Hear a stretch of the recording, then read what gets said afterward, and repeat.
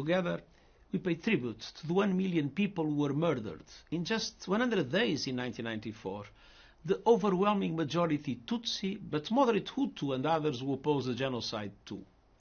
We honor their memory. We stand in awe of the resilience of the survivors, and we reflect on our failures as an international community.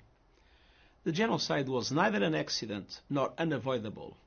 It was deliberate, systematic, and carried out in broad daylight. No one who followed world affairs or watched the news could deny the sickening violence taking place. Yet, too few spoke out, and fewer still tried to intervene. Much more could have and should have been done.